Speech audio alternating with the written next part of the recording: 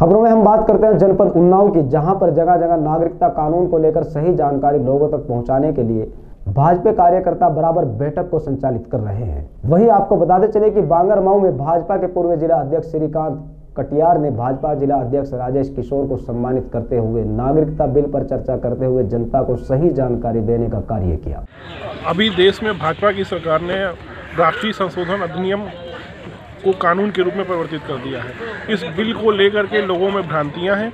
हम आज राष्ट्रीय संशोधन, नागरिकता संशोधन अधिनियम को लेकर के एक जन जागरण बैठक किए हैं, जिसमें हम लोग ये बताने का काम कर रहे हैं कि यह बिल जनता के लिए, जनता के द्वारा, जनता के द्वारा चुनी गई सरकार द्वारा बनाया गया है। कानून चूँकि बन चुका है, हम लोगों की भ्रांतियाँ दूर करके उनको इस कानून के प्रति जागरूक कर रहे हैं। हमारा बस इतना कार्य है। वो ये बता रहे हैं कि राष्ट्रीय संशोधन अधिनियम नागरिकता देने का काम कर रही है।